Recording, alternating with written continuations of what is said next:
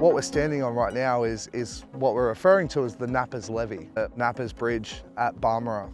On this side of, of, of us here, we're looking at the River Murray flood.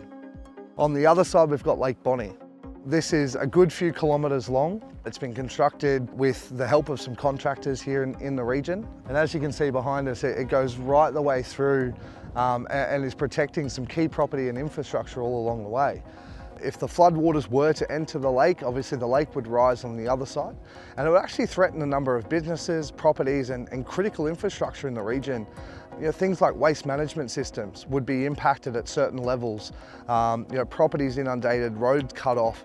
So here in Berri Barmera, the council have worked with the SES and all of our, our wonderful contractors to ensure that it's withholding and it's standing up to the onslaught that the River Murray's throwing at it. Currently predicted flows are anywhere from 190 to 220 gigalitres a day, whereas the levee network here in the region is built to withstand 250 gigalitres per day.